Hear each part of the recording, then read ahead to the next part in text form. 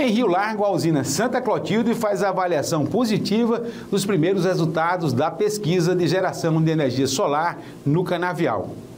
A usina Santa Clotilde, localizada em Rio Largo, Alagoas, é há mais de um ano base de um projeto de pesquisa de geração de energia solar realizado pela UFAO inédito no mundo.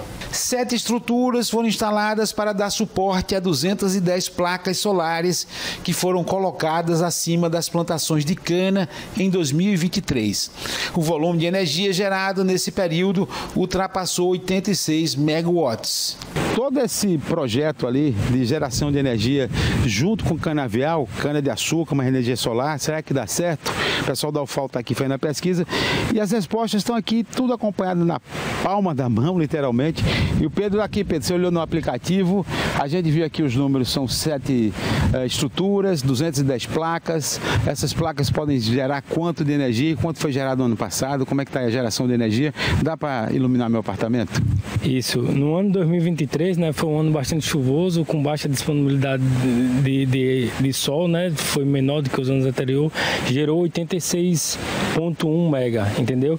Se a gente pegar aqui no aplicativo hoje já está em 187 kWh que está gerando agora, entendeu? O sistema agrofotovoltaico de geração de energia é considerado bastante eficaz, destaca o gerente. Ele revela também que em um dia ensolarado o sistema gera até 500 kWh.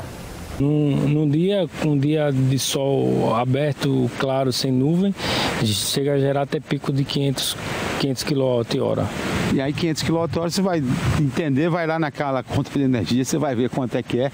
Deve dar dando aí um, quase mil reais de conta por mês, né? É, dependendo do, dos encargos, taxa de iluminação, é, é uma conta mais ou menos de, em torno de mil reais. Ricardo Araújo, coordenador do projeto, avaliou os resultados da interação entre a cana e a geração de energia solar na mesma área. Um, uma, um sistema que você promete por conta dessa possibilidade de você ter dois produtos, né, dois produtos energéticos essenciais atualmente em uma área só.